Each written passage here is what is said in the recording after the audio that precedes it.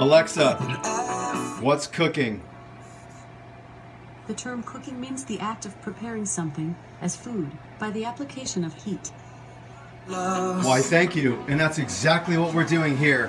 So, what do you get when you combine ground turkey, rosemary, thyme, two cups of oatmeal, Penzeys spices? That's what you get. Bon appetit.